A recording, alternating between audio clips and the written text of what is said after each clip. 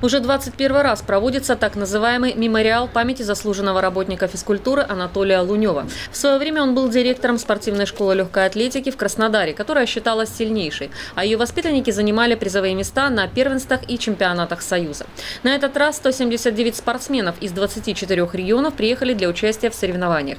Первый день – метание копья и метание молота. Соревнования у нас проходят четыре возрастной группы – юноши, юниоры, молодежь и взрослые три дисциплины. Метание копья, метание молота и метание диска. Люди, которые выступают здесь, они претендуют на попадание в команду от регионов. Кто в команду не попадает, принимает участие в личном первенстве. Это, по сути, первый старт для спортсменов на открытом воздухе. Многие приехали из северных регионов, где тренировка возможна только в манеже.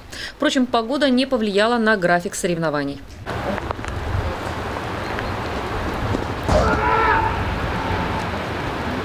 Всероссийские соревнования проходят за неделю до зимнего чемпионата и первенства России по длинным метаниям, где примут участие уже порядка 300 спортсменов. Рената Шипулина, Демид Даниловский, телекомпания «ФКТ».